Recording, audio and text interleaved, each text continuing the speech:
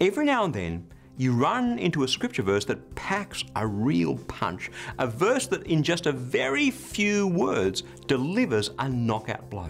The one we're going to look at today is one like that. Hi, I'm Berni Dymet, and welcome again to Fresh. The world these days seems to thrive on doing the wrong thing and calling it the right thing. Don't believe me? While those of us in the West are living lives of luxury and wealth, children are starving to death. But, but we just ignore that. And it's not just us, but our governments, indeed our whole economic system. Okay, so you and I can't change the world. You and I can't convince the fools of this world who do what's wrong and behave as though it's right that they're fools. We can talk at them until we're blue in the face. We, we can tell them of the eternal consequences of their choices, but they'll just laugh at us. So, what should we do? What can you and I do? Give up? Hmm, that's one option. Here's another.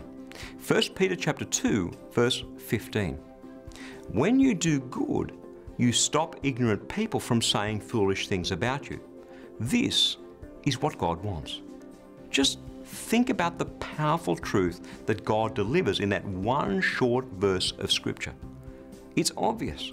Don't argue with them. Don't engage them in long winded debates that will never change anything. Instead, just do good, because the truth is that actions speak louder than words. No one can argue against a good deed that springs from a good heart. Well, they can try, but they'll never win.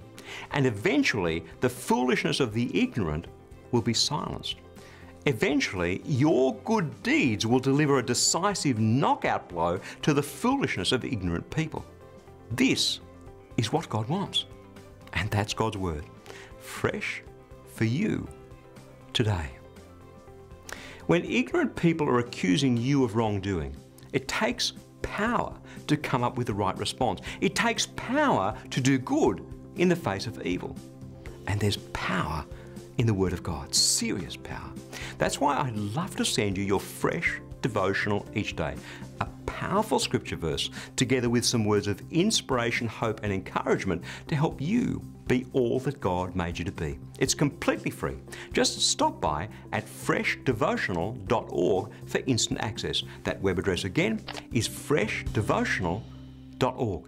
I'll catch you next time.